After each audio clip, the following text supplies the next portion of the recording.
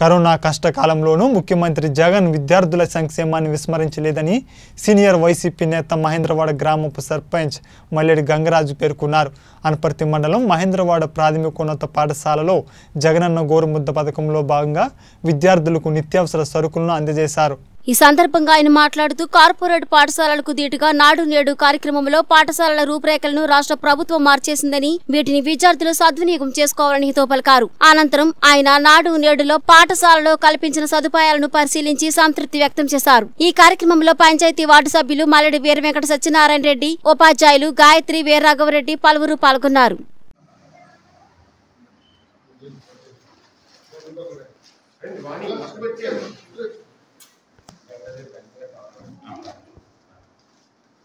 ఒకసారి ఒకసారి మా ఇంటి పక్కనేమో నేను డైలీ చూస్తుంటాను ఈ స్కూల్ పాఠాలు జరగడానికి మొత్తం టీవీ ఏర్పాట్లు అన్నీ కూడా జరిగినాయి. ఈ బెంచీలు కూడా మన ఇంటికాడ కూడా ఇంత క్లాస్గా మనం తయారు చేయించుకోవాలి అంత అందంగా చేయించారు.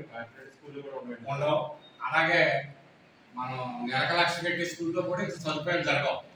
అలాగే టాయిలెట్లు కూడా మన ఇంటికాడ కూడా టాయిలెట్లు కూడా ఇంత శుభ్రంగా ఉండవు. అంత అలాగా చేశారు మీరు శుభ్రంగా వాడుకుని మంచి నీట్నెస్గా వాడుకోవాలి. మీకు ఏదైనా లోటుపాట్లు ఉంటే పని పైన మీరు అధ్యాపకులు చెప్తే మేము కూడా మీకు సహకరిస్తాం. ఏమో